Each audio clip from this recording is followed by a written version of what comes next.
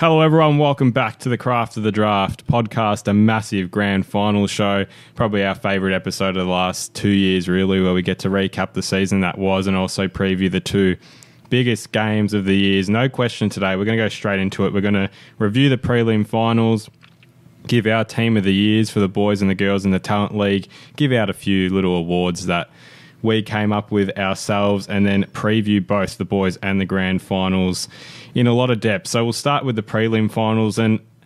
Let's be honest, it was a bit lackluster. I felt like, apart from really the Rebels Oakleigh boys game, a lot of the prelims felt like they just worked themselves out. Yeah, the after three a couple quarters. Yeah, three of the four across the boys and, And the, the girls, girls. games. Yeah, so I guess we'll start with the boys doubleheader at RSEA Park on Sunday. Sandy taking on Dandenong in the first game there, and it was tight for a quarter. Dandy really took it up to them with a big-bodied midfield. Started with Cooper Hines, Harvey Langford, and Elwood Peckett in there. Kicked the first couple of goals of the game, but then from there it was one-way traffic, and there wasn't too much to write home about from a Dandenong perspective. Dan- uh, Sandringham just too classy and ended up outworking them as the game went on. It felt like.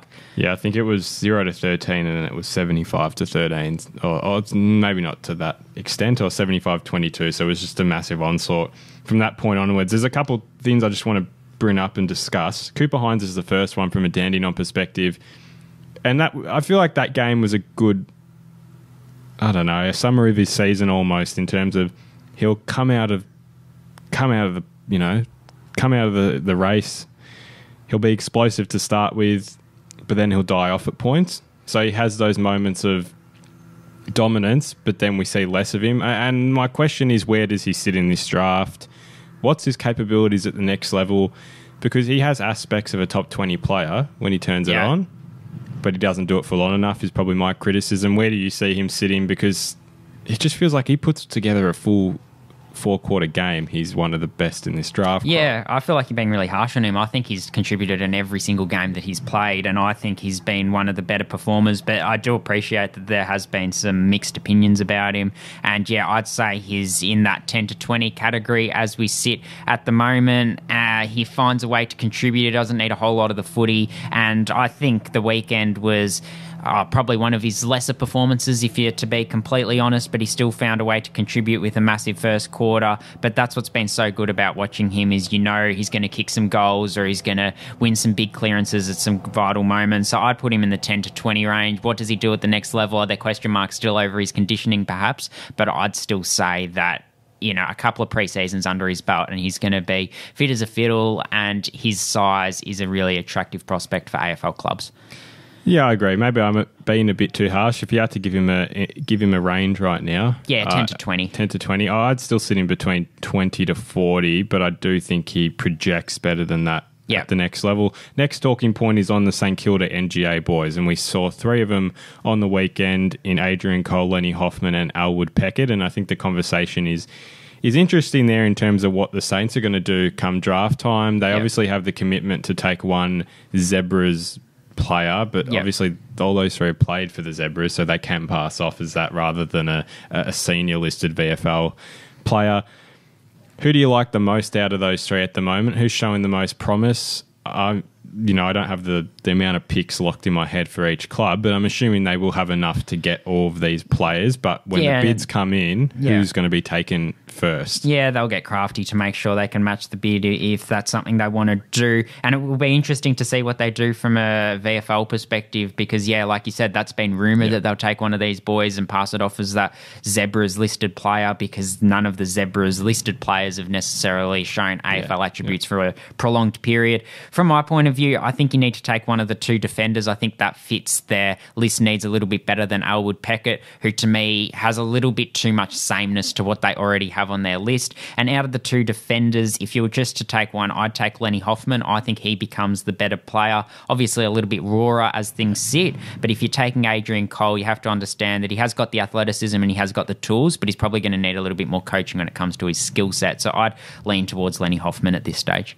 Yeah, it's interesting. I agree with that statement, but I also reckon that Adrian Cole better fits their system in the near future rather than Lenny Hoffman, who probably needs a couple more years to develop and uh, get himself into an AFL environment a bit more. Whereas Adrian Cole has the build, quite a good build already. So that's, uh, I, I think both will eventually find their way. But Yeah, it's, it's interesting seeing those two point of views. Certainly an interesting talking point. I think the other one to come out of that game is Riak Andrew keeping Harry Armstrong to just the one goal after keeping Job Shanahan goalless a couple of weeks ago. So a really good final series from Riak Andrew, who also intercepted well against Gippsland in the semi in the quarter final rather. So yeah, a, a good finish to the season for the 19 year old from Dandenong. But we'll move on to the Oakleigh GWV game. The way I saw that game was Oakleigh kicked themselves out of it, and across their last two finals, they've kicked 17 goals 34 and that doesn't account for complete misses so you know bad kicking's bad football as people say and honestly oakleigh should probably have put that game away by half time or not too long thereafter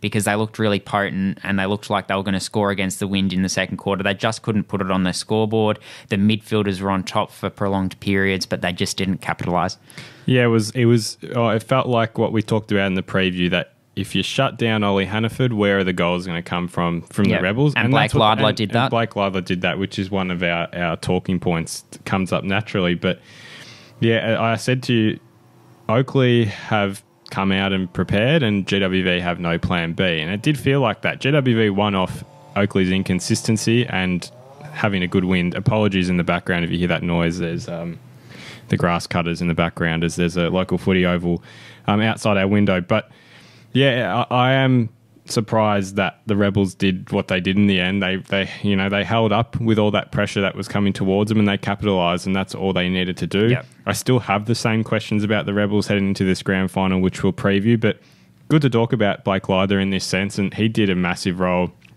on Ollie Hannaford. He kept him quiet until really the midway of the third quarter, where he kicked that goal. And then after that, he kept him really quiet when quarter. GWV were coming Yeah. hard in the last quarter. He won some crucial one on ones. So it was quite interesting looking at the stats last night. Blake Leidler finished with just the four disposals. Yeah, you would have seems like nothing. Yeah, which you, yeah, you'd say he was one of the most Yeah. influential players on the ground with the way he wore Ollie Hannaford like a glove. But I think Jonty Faull had a really important game, kicking the five goals and marking really well. He didn't lose too many one on ones all day, so he had one of his better games in recent times. One he needed to have, another one who had a game that he needed to have was probably Floyd Burmeister. So he's put together a couple of good performances recently as well. Probably doesn't come up on the stats sheet, but he was a really commanding presence around the ground, as was Harley Hicks, continuing on his strong quarterfinal form. Yeah, Floyd Burmeister's one who has. I feel like he's grown into his game a lot more as the season's gone on. I've I've kind of questioned. He goes at a lot of the ball, but it can come across a bit. I don't know what the word is, but just a bit too much sometimes. He'll go for marks, flying for things that he's probably not going to get to. He's showing the commitment, but he was never really getting grasp of it. But I feel like it's coming together now and putting together some really good football. And Harley Hicks is one I'm excited to see. you Yeah. know, how he progresses, what his X factor becomes at the next level. We'll move now to the girls, which was played in absolute terrible weather on the Saturday hail, rain, shine, you know, Melbourne weather in Craigieburn. Jonty, you caught these two games Yep. and it was as expected, really. But Dandenong put up a good fight. Oakleigh just too good, and Eastern were just too strong for Geelong. I guess tell me about the conditions in general and those players who stood up because it, as much as it wasn't a good day for football, it's a good day for recruiters at the very least. Yeah, it allows them to see who can stand up under adversity when the conditions are really against you. So, I guess a quick summary on each game. I think Dandenong and Oakleigh really went toe to toe for the entire game. Oakleigh just had a 10 minute period in the second quarter where they were able to put three goals on the board, and that proved the difference between the two teams where Dandenong weren't able to consistently put their ascendancy on the scoreboard, and we knew that was going to be an issue coming into the games, having watched them a few times in the last couple of years. And then Eastern kicked four goals in the first six minutes against Geelong, and from there, it felt like the game was over. So that was sort of the tale of the tape. In terms of the players that stood up, Sarah Pouse did, laid the 17 tackles, had the 18 disposals. She was huge in close for the Oakleigh Chargers and really it, it capped off a really strong season. She's obviously got a game to go, but really, really impressive to see. Gemma Reynolds was quite clean, had some important moments when Dandenong were able to get on top. Grace Ballany's class really came to the fore, and Briley Anderson's hardness is one that we should watch in the next couple of years because I thought she played the best game that I've seen her play. Also, want to give a shout out to Scout Semple, who rose to the occasion. Two goals in the first three minutes for Eastern. She really seized those moments, finished with just the six or seven touches, but it was a prototypical small forwards performance.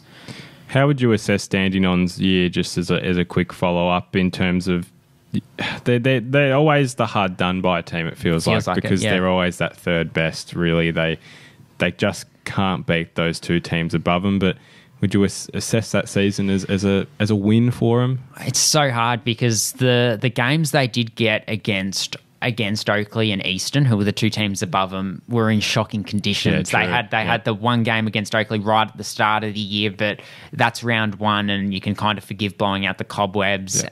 But yeah, it's very hard because you would love to have seen the Gemma Reynolds and Kayla Dalglish type players going against them in dry weather. It might have been a different result. They might have been able to put it on the scoreboard with the way that they play, having a little bit more flair and X factor on the outside. So I would say it's a pass mark, but yeah, heartbreaking for Dandenong. They're always there. They just can't take the next step. Moved now to our exit meetings, which we've done the last couple of weeks when teams exit the Coates Talent League. Jonty, you lead this as always, but we'll start with the boys, which were Oakleigh and Dandenong. Yeah, we'll start with Oakleigh. So Blake Leidler first. I say injury prevented consistency for him, but his speed and ball use as well as lockdown abilities were all promising. Draftable aspects, I just don't think it's the complete package to get him drafted, though. Yep, yep, that's a fair call. Pat Reshko's work rate was unquestionable, but his inefficiency limited his productivity. Yeah, I'd have to agree. I still see a lot of upside for him at the next level, though. Tom Gross, his X factor and toughness in spades, but I think uh, I think few were better than him at his best, particularly with what he was able to perform to produce at Coates and Champs level. I think his season changed dram- dramatically at the back end of champs. He's Yeah. fixed up those deficiencies and he's become much. uh, Yeah, he's he's stapled himself as a top twenty. Yeah, yeah, well, well summed up. Uh, Finn O'Sullivan, three words: injury creates intrigue. You know, bloke, he could have he could have sewed up pick one. Let's be honest, but if, yeah, he's got, he's got too much down on him now. He's still got the quality, but yeah, injury. Um, Jagger Smith hasn't put a foot wrong. The only question marks remain something outside of his control, being his size. Hey, Morrish medalist. Yep. Question mark. Well, well, we'll find out. Well, if you listen to this on Wednesday night, you'll probably have. If you go to Talent League app, it's probably there already. But uh, Certainly. Yeah. Noah Uze's versatility and strength has kept his name thereabouts. yeah, that that competitiveness as well. I think it. You know, it's always going to spark conversation in the father son talk. Definitely. Uh, Zane Cochran was really well regarded in pre-season internally and showed why without probably cementing a clear point of difference. I'd agree, but he's he was always there and lifted during that private school period for Oakleigh. Uh, Doug Kerr got injured just at the wrong time with that ACL, but his form was solid outside of that without absolutely, absolutely nailing his draft ability. Yep, correct. Uh, and Luke Quainer, strong and versatile, but whether it translates to the next level remains questionable. I only ask a quick question. Do you reckon Colin would take him? Uh, I'd lean more towards a no at this point.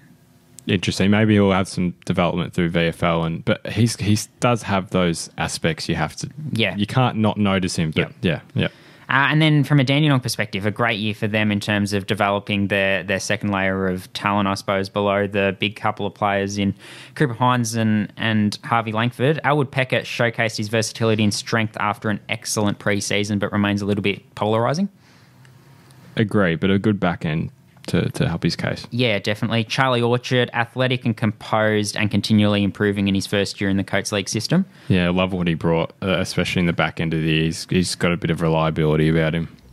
Riak Andrews long established his athleticism, but his final series showed a different element to his game. I can't fully agree. I still think that element of one-on-one defense is is just a question mark. He's had that extra year as well. He's not Yep. 18, which uh, works against him, but he he's got a chance though. I have Yep. to admit. Very lightly framed, though. Harvey Langford was ultra consistent with a spike at the right time of the year, being the champs. Oh, 100%. He's he's helped his case, you know. Um, Cooper Hines, a strong preseason, laid the platform for a brilliant CTL season. You know what his strengths are, and he put them on show. He did exactly what he needed to do and was good at it every time. Certainly. Sam Toner proved to himself as much to anyone else how good he could be. Continue building, please. Yeah, I wished I saw more of him. Only got to see him once, and then he had that injury at the back end. But yeah, and Jordan Doherty took his overage opportunity with both hands as the most elusive ruck in the comp, but whether he's too small to do that role at the next level is a big question mark. It is, but I love his mobility. You can't. It's so yeah. rare to find a player that can do that at that at that height in general. And then last one, Noel Moraz dealt with the injury setback with a great, which showed his excellent personality and attitude. Yeah, it's hard to rank him now actually because we've seen yeah. very little of him move now to the girls with Dandenong and Geelong. Yeah, so we'll start with Hayley Peck, a dominant season without probably showing the AFLW attributes to set her apart. Yeah, I thought there were glimpses at times, and I still think there were. Just consistency is my question mark. Rebecca Cloddy, athletic and tenacious, but her kicking needs ironing out. Yeah, it's just those general ball skills I got the question mark on, but that aggressiveness and, and will to get the footy is, is second to none. Mika Morrissey maintained her status as the best specialist winger. Yeah, running patterns are, are, are, quite elite for, for the level she's at now. So exciting at the next level. Hopefully, she gets the opportunity. Saoirse White showed enough dynamism to put her right in the mix. Yeah, I, I think she's when we get to the AFLW draft chat in a couple of weeks, she's definitely one that's gone under the radar. Yeah, definitely. Um, Sarah Howley was a picture of consistency. She continued rather than built on her bottom aged form. Yeah, it was it was same same from Sarah Howley. That being very good. So yep. yep. Uh, Gemma Reynolds and Kayla Dalglish, I'm sort of putting them together. They were a one-two punch in the midfield and forward line for Dandenong, and each showed their point of difference quite extensively yeah, you lose those players, you lose a lot of depth in that side. So really, really consistent and productive. Zoe Basenko, I feel like just scratched the surface of her ability. I'd have to agree. I was always. She's got draftable traits. I yep. wonder if she's um, in the same kind of boat at the moment as uh, the names left to me. The Dandenong girl who didn't get drafted last year, but she got picked up.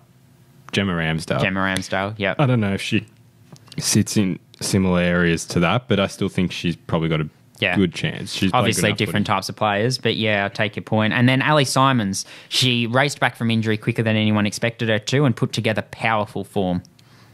Actually, I can't believe we didn't talk about this before. Is her as a mid is yeah. a scary thought. That when I saw, turned on and saw that, you think for a player of that size to have such dominance yeah. was unbelievable. She's she's yeah played not a lot of footy, but done as much as some have in a whole year. She's that good in that in that sense. She was she was awesome. But that's our exit meetings done. We are now going to get into our awards part of the podcast. The exciting time. We've got two team of the year. So one for the boys, one for the girls, and, and these graphics will be available on Instagram to see see the full teams out. But we're going to go through line by line. We're not really going to give our explanations as to why, just to keep the podcast moving. But we'll start with the boys. Yep. Jonty, if you're getting up, I yep. can. You go. I'll, I'll keep reading. Well, I'll, maybe I'll read out the boys. You read out the girls. Yep, sounds good. Start with the full back line. Luca Grego from the Western Jets, Matt Whitlock from the Murray Bushrangers, and Charlie Orchard from the Dandenong Stingrays. On the half back line, Toby Travaglia from Bendigo, Alex Taru from Gippsland, and Lockie Jakes from Geelong. So that's our defensive stock.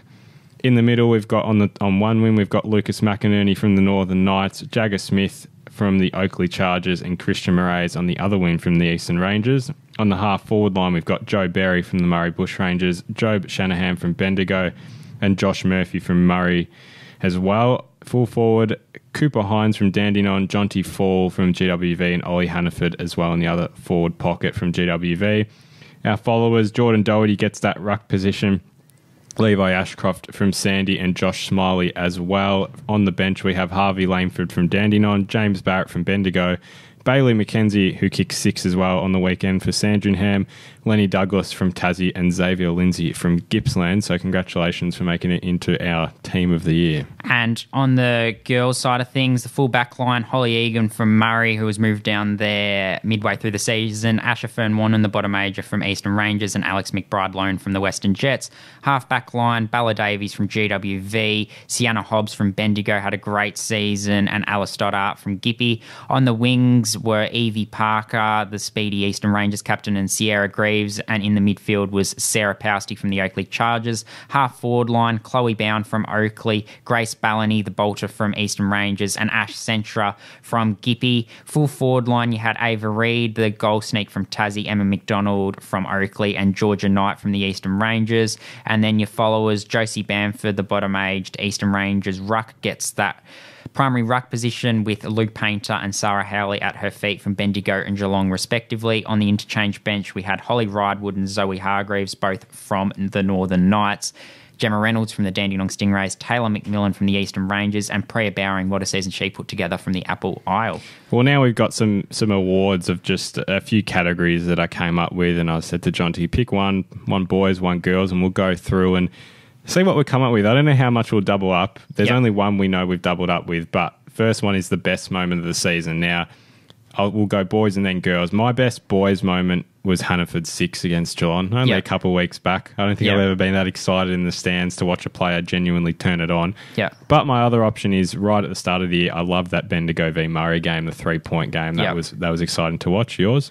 Uh, Xavier Lindsay's game against Vic Country did it on the Yep. biggest stage, and what a performance it was under great pressure on the in the inside and outside. We only had one response on Instagram, which was from Job Shanahan, and of course he was going to say this, but Ollie pull after the siren against the Rebels. Yeah, this one didn't get a lot of traction. This one, there there were a lot of others that got lots of traction, but not this moment. And then the best girls moment, Claire Marnie kicked 2-2 to start the season. It, it was a great performance Yeah. that laid a foundation which led to her national combine invite. She took seven marks as well. Mine was Centra's 47 right Yeah. at the start of the year. Yeah. I'm surprised we have both at the start of the year. Our next one is most courageous. We both agreed on on these two, but it was Alex Taru and Sarah Pousty. I feel like Yeah. there's a lot of daylight between these Yeah. two.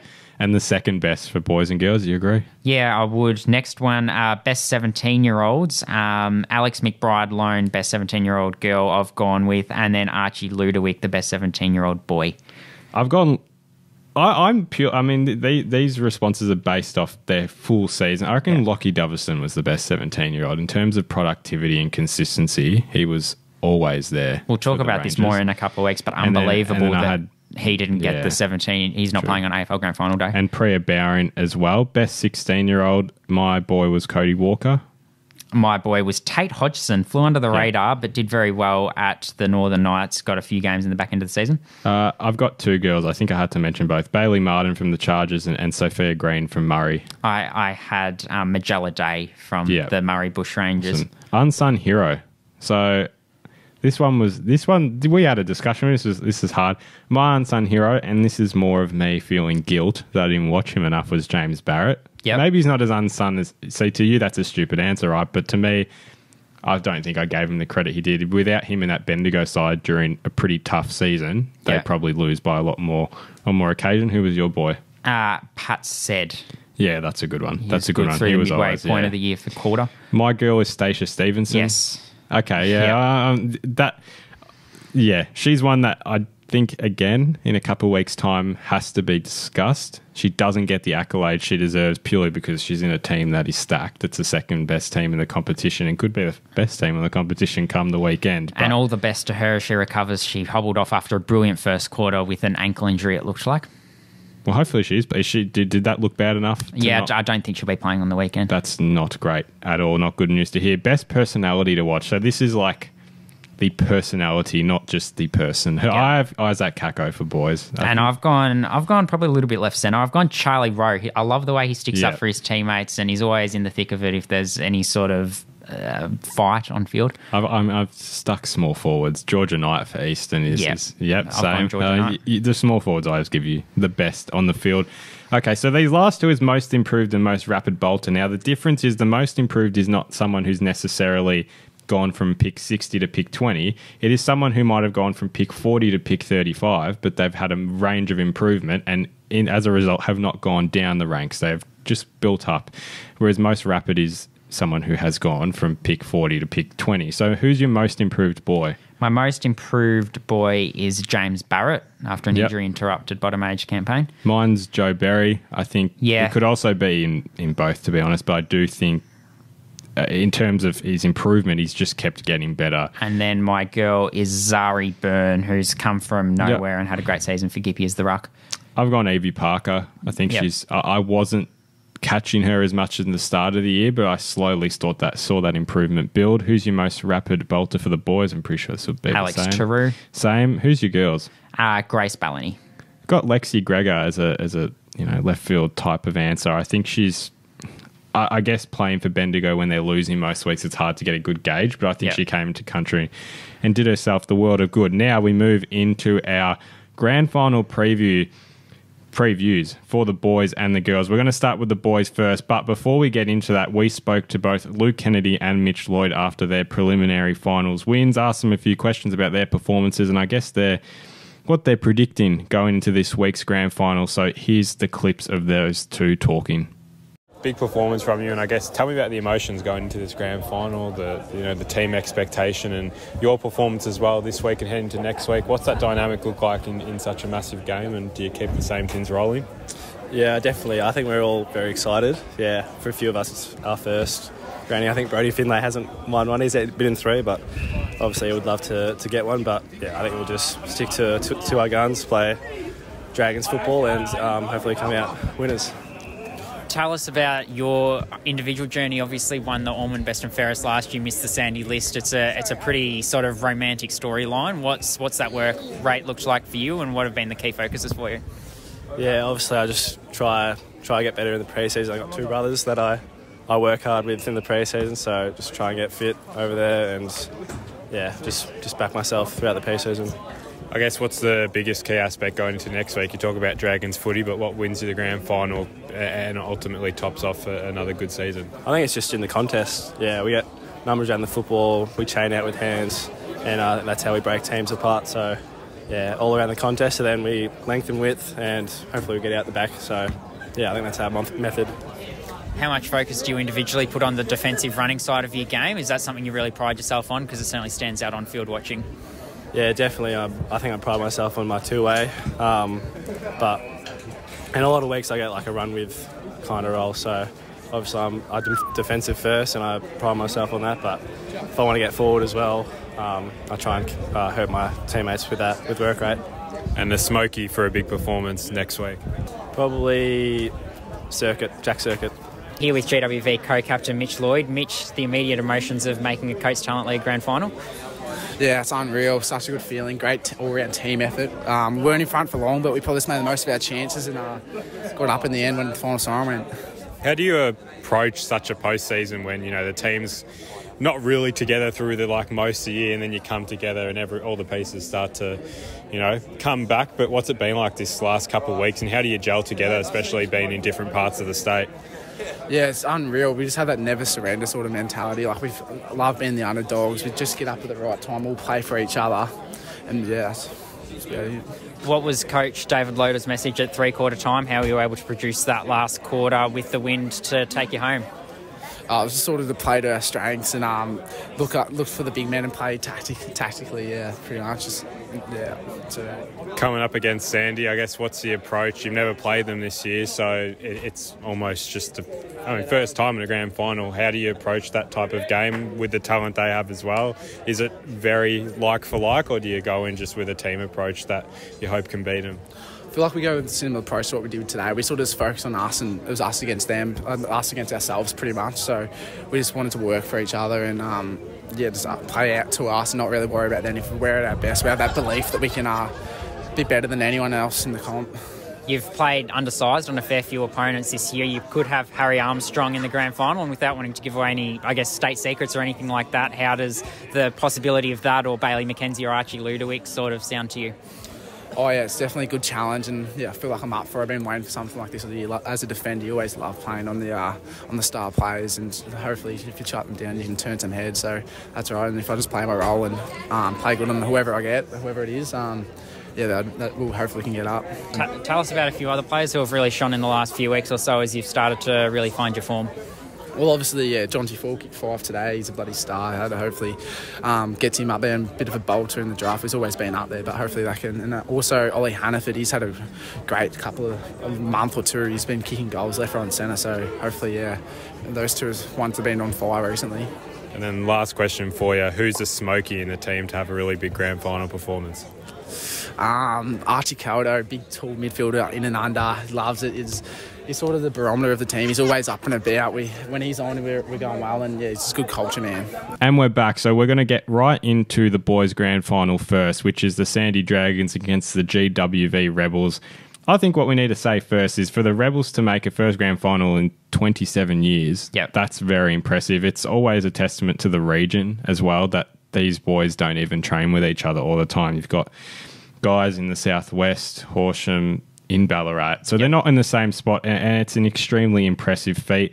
I was looking through the last couple of grand finals. I mean, it's always metro teams. Like if you take Or out- Dandenong, who but we- if you take out together. Dandenong, it's Yeah. been like Murray. You know, a couple of years back, Geelong were probably the most recent when they got won those back to back. The sorry, the two grand finals in a row. So testament to the Rebels, and the same goes for the Dragons. That's three in a row, which is unbelievable to think if they do it. If they do it. I mean, we were there for their first one in 2022. Last year, they beat the Rangers. Where do you want to start? I think my, my, my biggest my biggest again, like I We'll said, start with the midfield, I reckon. yeah, that's not even my biggest concern. But we'll yeah, okay. Let's start with the mid. Where's where's it won or lost? Yeah, well, I think GWV are going to want to make it a country dogfight in the midfield. Yeah. That's the way they're going to win this game of footy because they've got a lot of role players like Archie Caldo who can really, really take it up to Sandy physically. We saw Dandenong try to do that. They were able to do it for a quarter, but then they were just beaten on the spread, and that's a real concern for GWV. I think Jacko needs to continue his strong form, win the contested footy, be really clean, and I think Flynn Penry and Floyd Burmeister have an enormous role because I think the one area on the ground where they have the advantage on paper, GWV, is in the ruck. Yeah, Flynn Penry Yeah. will be up against Brody Finlay. You'd back Flynn Penry, and Floyd Burmeister will be up against Lockie Voss, who hasn't played a lot of ruck this year as the second ruck. He's generally been as a key back, but he's changed roles in the final series, so they need to really exploit that. Because if Sandy get on top in the ruck, then I think Levi Ashcroft, Murphy Reid, they're just going to run them off their feet like they did to Dandenong. I'd like to see Flynn Penry get uh, involved a lot around stoppage because he's Yep. quite good below his knees. I just I think that can work to quite an advantage for the Rebels. And as I repeated last week, Sandy don't defend. The midfielders don't defend. That's just the, that's their style. They're a very offensive team. A lot of their mids, and we saw that quite early with Dandenong as well. That's Yep. that's how they scored both their first goals. It's over the back. You kill them in transition. Yeah. What was interesting, sorry, was that the game seemed to turn when Luke Kennedy went into the midfield, a two way But, runner. but even in that, though, he was still really offensive. It was almost a different type of Luke Kennedy. Yeah. So you know you've got a player like that. The only thing I say that, but the Rebels don't have that style. They're not really an out the back team. So how do they combat? You know Sandy's offensive Yep. style. Can you find a way to counteract that and, and hurt them in that area? Uh, I guess for Sandy, who's that one player who they have a good day and you're doomed. And that's the thing with Sandy. Yeah. Only one has to have a good day. I mean, day. you could say anyone. You could say. Levi Ashcroft. You could say Murphy Reid. You could say Yeah. Sam Marshall. You could say Nathaniel Sulzberger. And you could say Luke Kennedy. We saw what Cooper Lord did on Grand Final Yeah. Day last year. No one was expecting it, but he'd be talked about a lot more if he was in a different team. So there's five. Whereas for yeah. GWV, you think Jacko's got a big role to play, but that's why their team chemistry is so important. And it's been so impressive in recent weeks, given they haven't played together very much because of injury. And like you say, they don't train together. So that's sort of the midfield battle, I think. I'm sure they'll. Oh, I'm making assumptions. I'm sure they'll come together this week, the Rebels, and, and do you know a full training session. Yeah. as much as they possibly can. I asked the question of Ollie Hannaford. Do you move him into the middle in this type of game? You talked about making it a scrap fight. Well, he's that type of player you need in there. Sandy's mids are smaller. You've got Levi Ashcroft who's 179, Murphy Reid is you know same same same. So Ollie Hannaford going in there isn't really reducing height by any means. Is he someone you'd consider? Uh, it's not a bad call. I do think they need him up forward because they need the scoreboard potency that he offers. We'll move to the GWV forward line, I suppose, now, and, and the Sandy back line. And I think yeah, Ollie Hannaford has a huge role. I think he's going to get the matchup on Mitch Kirkwood Scott. I think you called this as Yeah, soon as the yeah. two games are over. It'd be great to see them go at each other. They're both tenacious and they, they b- both love a fight. But if I'm GWV, what I'm doing is I'm recalling Charlie McKinnon. I thought he was a real surprise omission for Yeah. the preliminary final. I know he's had a quite a few weeks, but I think what you need to do if you're going to win this game is you need to hope that everyone comes to play, and that includes Charlie McKinnon, who at his best is in their best 23. The reason I'm recalling him is because the way GWV win this, I think, is marks inside 50. You've got Yep. Floyd Burmeister, who is going to stretch Sandy for height. He probably gets the matchup on a on an Owen Bader because you're going to have Jonty Faull is going to be on Adrian Cole, Yep. and then Charlie McKinnon, if he plays, is then going to have to take Lenny Hoffman, who they like being as that third man across.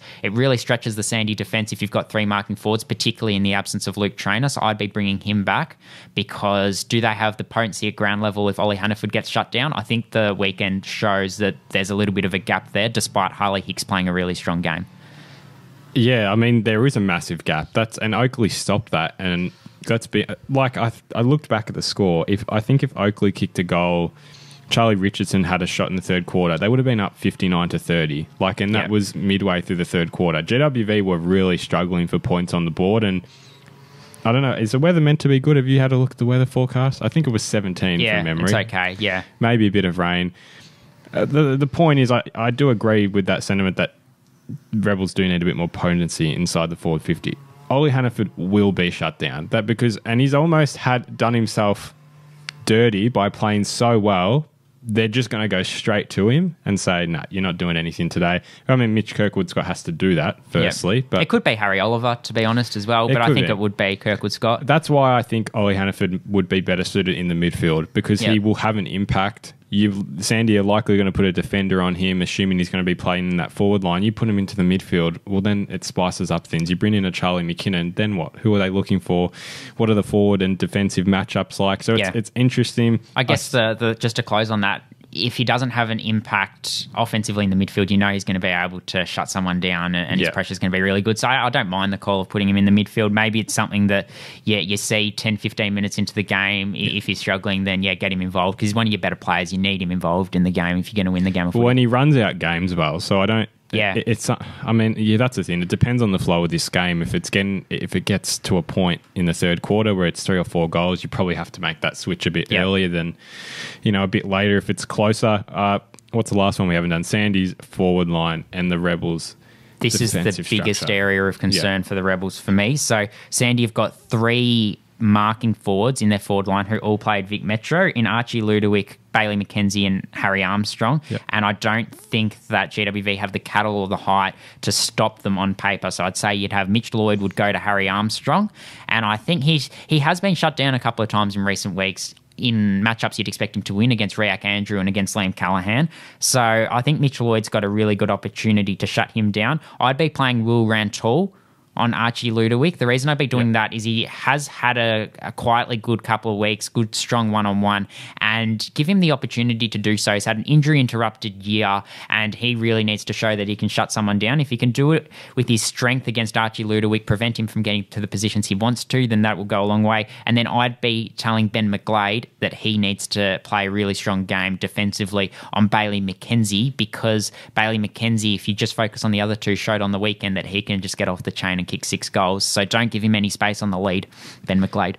If I take a step back and go back to the midfield, I think that's your biggest threat more than Sandy's forwards. How do you stop their midfielders from kicking goals? That's the one thing GWV I think lack as well at times. Their mids don't really go forward and, and hit the scoreboard. You're usually good for a goal a game from someone like a Jack O, and obviously if Sam Lawler's in that team, you're going to Yep. get some productivity out of him as well. But from a Sandy perspective, Levi Ashcroft's kicking at least two on the weekend. You Yep. could put that down as a certainty almost. Murphy Reid's dangerous for a goal or two. Even Harrison Oliver on the weekend kicked a goal. So how do you shut them down? I, I think it's what's that balance? How how much attention do you put into restricting their midfielders' offensive threat, or do you shut down the forward line and their Yeah. their you know their aerial capability?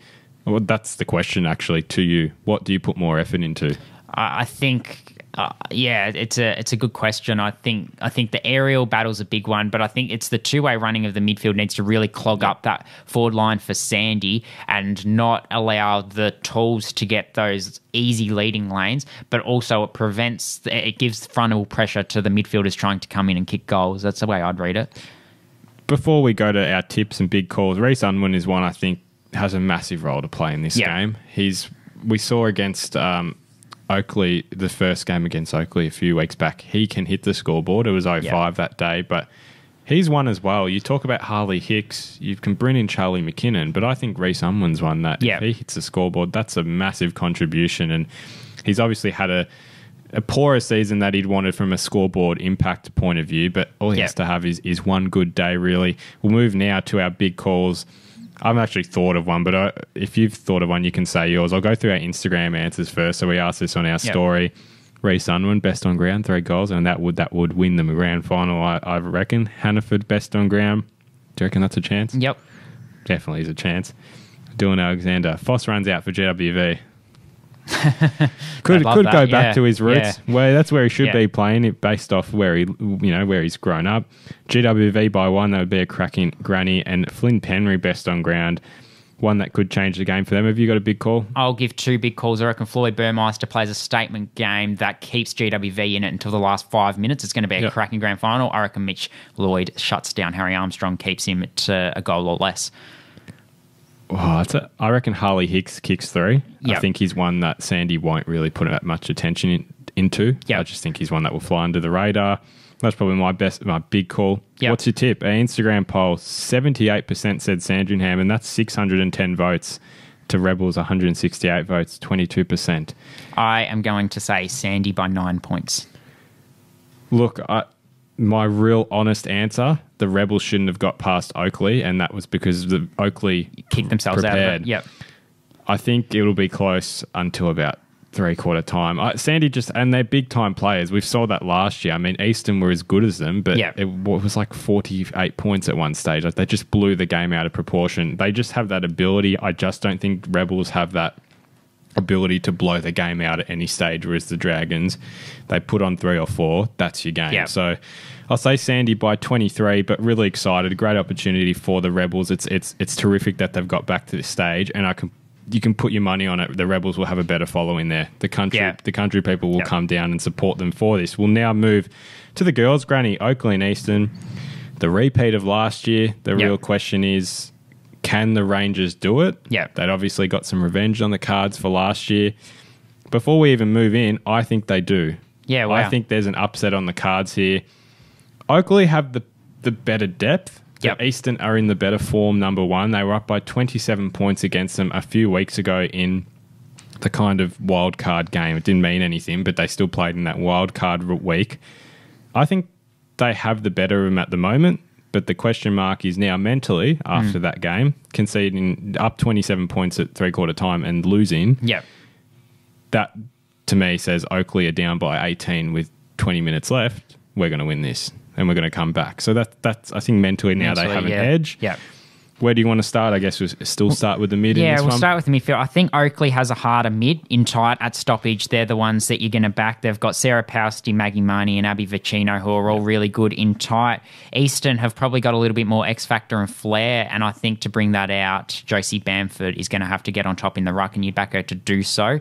But I do think Oakleigh has the depth and the the edge in the midfield battle. I, I think Oakleigh's toughness as well will, will stand up at times. The bigger ground I think works towards Eastern's favour though. Yeah. Uh, they do both train out of small grounds, being Kilsyth and, and Warrawee, but Yep. I think Eastern have proved with their runners as well on the Yep. outside they can generate generate it a lot quicker. Yep. In terms of centre stoppages, you'd probably lean towards Oakleigh winning them a little more. So it's Yep. what Eastern can do with it, I guess, in open play around the ground. Can they make a lot? Can they get a lot of run going forward? Yep. Um, I guess Oakleigh's forward line is where I have a lot of concern from an Eastern Rangers perspective because they've got Emma McDonald, so I think she'll likely have the matchup on Asha Fernwannon, who's had a really strong season for the Eastern Rangers, the left footer. But it feels like Oakleigh has just so many more options in attack. They've got Emily Gladman, who can kick goals, Bailey Martin, who you touched on before, Chloe Bown. And well, Lucy well, Bailey Murphy. Martin was out on She the was. She didn't play on the weekend. so I just wonder. sh- I don't know It was a late there. late Yeah. exclusion though, so we'll, we'll see if she plays. But regardless, they've still got a lot of players who average more than a goal a game. Whereas Eastern, it feels like, which we'll get to in a second, are relying on midfield goals, cameos, and Georgia Brisbane and Georgia Knight a little bit too much. So I think it's gonna it's gonna be really incumbent on the midfield from Eastern to not allow them to get quick entries. Otherwise, those forwards have shown they can win their one on ones and hit the scoreboard. I, I do agree. Oakleigh's forward line is a tough task to handle. I do Yeah. think you shut down Emma McDonald. That's half the problem because Yeah. I, she does become a pretty direct source at times, but they obviously know that's you need to work around her. And the good thing about her is, you know, she doesn't take the mark; she's bringing it to ground, which is where Yeah, those smalls become dangerous into it. Emily Gladman is one as well. She's your best ball comes to ground. She's going to impact. I think it's just understanding those matchups from an Eastern perspective. I mean, they clearly did it last time a couple of weeks Yeah. ago. It's not like they're incapable of it. I think it's just understanding each forward's strength. They've Yeah. they've got a lot of elements there, which is why it's so hard to stop. But if Yeah. you match up the play as well, I I think they've they're every chance to to stop them. And I'm looking back at this game. They Oakleigh only kicked. They were only at three goals by three quarter time, so they kept them. They kept them scoreless in the first quarter of this game. Yep. So three goals up to three quarter time. You take that result onto the weekend. That's a massive, massive yeah, result. you take it, yeah.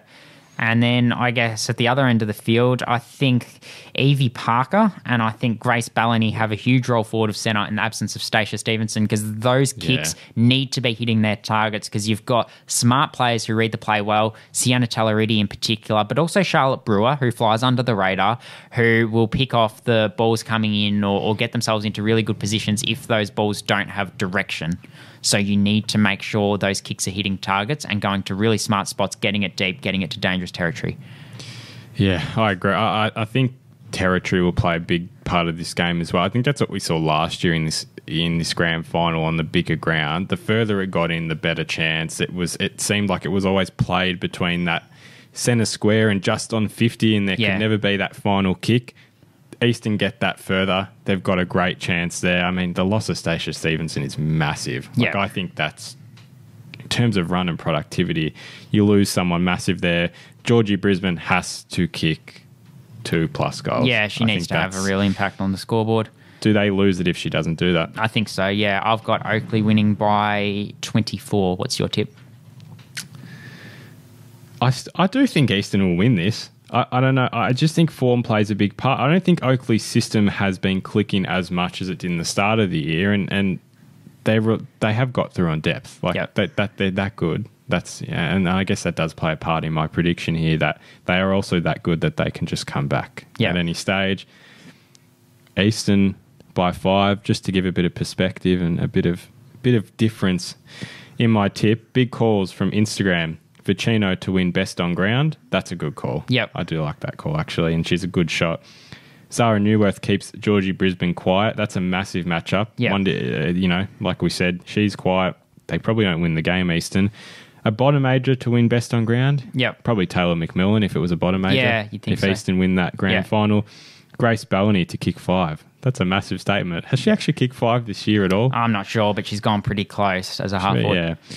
Tips was 71% Oakleigh, 409 votes to 29% Eastern, 168. So, geez, not many people back in the Rebels or Eastern in these grand finals, which would be hilarious if both of them get up in general. But that is all for today's episode. Massive grand final special. We will be back next week to review both these grand finals and also preview the under 17 grand final day showcase and, and go through some of our, our favourite players to keep an eye on and what we're expecting from that game. So, thank you all for watching. Make sure to tune into our socials for all grand final content during the rest of the week and on grand final day as well. And we'll see you in the next episode.